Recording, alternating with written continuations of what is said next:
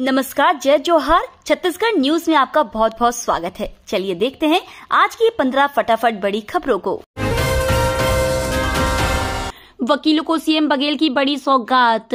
CM Bhupesh Baghel ने दुर्ग ज़िले के वकीलों को बड़ी सौगात दी उन्होंने जिला न्यायालय परिसर में 33 लाख रुपए की लागत से निर्मित अधिवक्ता संघ के लिए आदर्श लाइब्रेरी का लोकार्पण और दो करोड़ की लागत से बार रूम नंबर चार की पुरानी बिल्डिंग के नए सिरे से निर्माण कार्य का भूमि पूजन किया। इस मौके पर सीएम ने कहा कि देश की आज़ादी और समाज के विकास के लिए वकीलों का बहुत बड़ा योगदान है।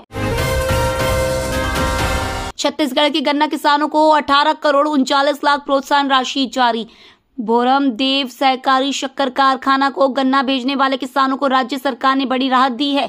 राज्य सरकार ने ज़िले के भोरम देव कारखाना कार्य क्षेत्र के गन्ना किसानों को देव प्रोत्साहन राशि 18 करोड़ उनचालीस लाख रुपए का भुगतान जारी कर दिया है। भूपेंद्र ठाकुर ने कहा कि भोरम देव सहकारी शक्कर उत्पादक कारखाना मर्यादित कवर्धा के गन्ना किसानों को बड़ी राहत देते हुए त्योहारी सीज़न में पेराई सीज़न दो हज़ार के लिए राज्य शासन द्वारा घोषित गन्ना प्रोत्साहन राशि अठारह करोड़ उनचालीस लाख रुपए का भुगतान किया गया है।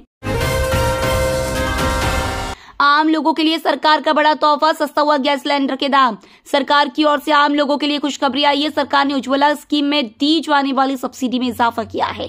केंद्रीय मंत्री अनुराग ठाकुर ने बताया कि उज्ज्वला स्कीम में अब सरकार की ओर से एक सिलेंडर पर सब्सिडी बढ़कर तीन सौ रुपये मिलेगी। इससे पहले सरकार एक सिलेंडर पर दो सौ रुपये सब्सिडी दे रही थी। सरकार के इस फैसले से तैतीस करोड़ गैस सिलेंडर उपभोक्ताओं को सीधा फ़ायदा मिलेगा।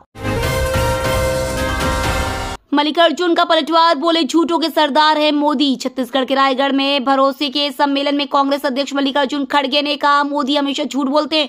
वह झूठों के सरदार है। पीएम धान खरीदने की बात कहते हैं। अब तक ना पंद्रह लाख मिले और ना दो करोड़ नौकरी मिली। किसानों की आमदनी भी दो गुनी नहीं हुई। आगे कहा, धान खरीदी की लिमिट से भी ज़्यादा खरीदी भूपेश सरकार ने की। इस सरकार में सीजी के लोगों की आमदनी बढ़ी है। चालीस लाख लोग गरीबी रेखा से ऊपर उठे हैं।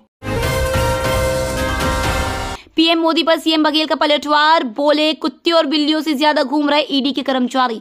छत्तीसगढ़ के मुख्यमंत्री भूपेश बघेल ने हाल ही में छत्तीसगढ़ दौरे पर आए प्रधानमंत्री नरेंद्र मोदी के बयान पर पलटवार किया है। उन्होंने कहा कि आवारा कुत्तों और बिल्लियों से ज़्यादा ईडी और आयकर विभाग के कर्मी घूम रहे हैं। मुख्यमंत्री बघेल ने चेतावनी देते हुए कहा, अगर भाजपा सरकार में कोई जेल गया तो उसे जमानत नहीं मिलेगी। सरकार ने नीट और जेई की तैयारी करने वाले स्टूडेंट के लिए शुरू की फ्री कोचिंग छत्तीसगढ़ सरकार ने फ्री कोचिंग योजना की शुरुआत की। छत्तीसगढ़ सरकार ऐसे छात्रों के लिए स्वामी आत्मानंद योजना के तहत फ्री कोचिंग की सुविधा दे रही है। छत्तीसगढ़ के मुख्यमंत्री भूपेश बघेल की घोषणा के अनुसार जाने माने प्रशिक्षण संस्थान से स्टूडेंट को नीट और जेईई की कोचिंग दी जाएगी। राज्य के एक विकासखंड मुख्यालयों में बीआरसीसी केंद्र द्वारा करवाई जाएगी। छात्रों को ऑनलाइन मोड में क्लासेस दी जाएँगी। सरकार सरकारी स्कूल की कक्षा बारहवीं के रेगुलर छात्र इन कोचिंग में दाखिला ले सकते हैं। छत्तीसगढ़ में इन महिलाओं को मिलेगा दो लाख रुपए का पुरस्कार। छत्तीसगढ़ शासन द्वारा महिलाएँ विशेषकर वीरता, शौर्य, साहस और महिलाओं में आत्मबल को सशक्त करने के क्षेत्र में उत्कृष्ट कार्य करने के योगदान को प्रोत्साहित करने की दृष्टि से वीरांगना रानी अवंतीबाई लोधी स्मृति पुरस्कार देने का निर्णय लिया है। वीरांगना रानी अवंतीबाई लोधी स्मृति पुरस्कार अंतर्गत चयनित महिला को राज्य शासन द्वारा पुरस्कार के रूप में दो लाख रुपये एवं प्रतीक चिन्ह से युक्त पट्टिका प्रशस्ति पत्र दिया जाएगा। सड़क नहीं तो वोट नहीं। बिलासपुर के सात गाँवों का चुनाव बहिष्कार का ऐलान। छत्तीसगढ़ के बिलासपुर से लगे सात गाँवों के लोगों ने विधानसभा चुनाव का बहिष्कार करने का ऐलान किया है।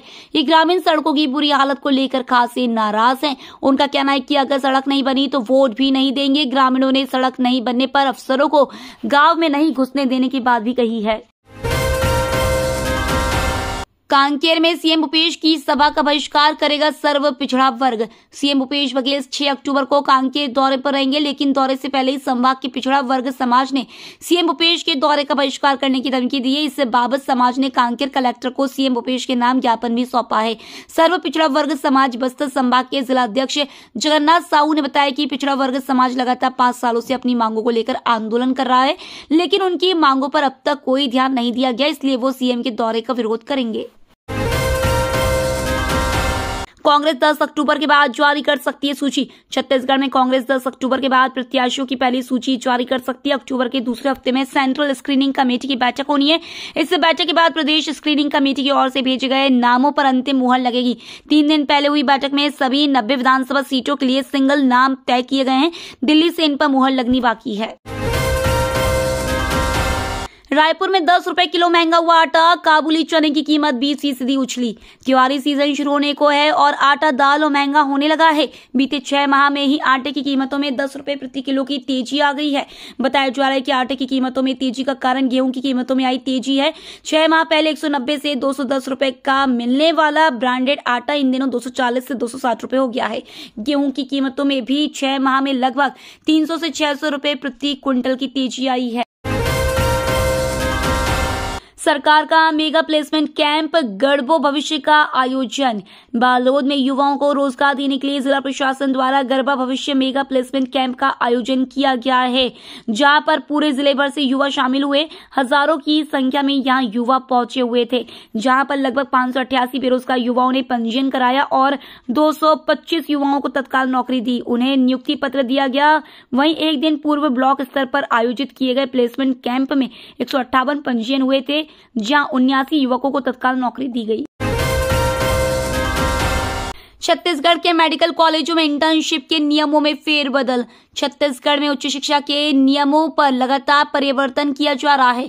इसी बीच पंडित दीनदयाल हेल्थ साइंस एवं आयुष विश्वविद्यालय ने भी नया नियम लागू किया है। लागू किए गए नियम के अनुसार अब मेडिकल कॉलेजों के छात्र जहाँ से एमबीबीएस की पढ़ाई करेंगे, उसी कॉलेज से ही इंटर्नशिप कर सकेंगे। वे दूसरे कॉलेज में इंटर्नशिप करने के पात्र नहीं होंगे। छत्तीसगढ़ से गुजरने वाली 35 ट्रेनें कैंसिल। दक्षिण पूर्व मध्य रेलवे नागपुर रेल मंडल के राजनांदगांव कलमना रेलखंड के बीच में तीसरी लाइन को आमगांव रेलवे स्टेशन से जोड़ने का कार्य के लिए इलेक्ट्रॉनिक इंटरलॉकिंग का कार्य किया जाएगा। इस इलेक्ट्रॉनिक इंटरलॉकिंग कार्य में प्री नॉन इंटरलॉकिंग का कार्य 7 से 10 अक्टूबर 2023 तक एवं नॉन इंटरलॉकिंग का कार्य 11 से 14 अक्टूबर 2023 तक किया जाएगा। छत्तीसगढ़ में इसी हफ़्ते हो सकती है आचार संहिता की घोषणा। चुनाव को लेकर मतदाता सूची का अंतिम प्रकाशन कर दिया गया है। छत्तीसगढ़ की मुख्य निर्वाचन पदाधिकारी रीना बाबा कंगाले ने प्रेस कॉन्फ्रेंस का विधानसभा चुनाव के मद्देनजर मतदाता सूची के बारे में विस्तार से जानकारी दी। मुख्य निर्वाचन पदाधिकारी ने बताया कि प्रदेश में अभी कुल मतदाता दो करोड़ तीन लाख साठ हज़ार दो सौ चालीस है। इनमें पुरुष मतदाता की संख्या एक करोड़ एक लाख बीस हज़ार आठ सौ तीस है। वहीं महिला वोटरों की संख्या एक करोड़ दो लाख उनचालीस हज़ार चार सौ दस है, जबकि प्रदेश में थर्ड जेंडर सात सौ नब्बे है। ये तो थी आज की बड़ी खबरें। डेली खबरों से अपडेट रहने के लिए चैनल सब्सक्राइब करना बिल्कुल ना भूलें। धन्यवाद।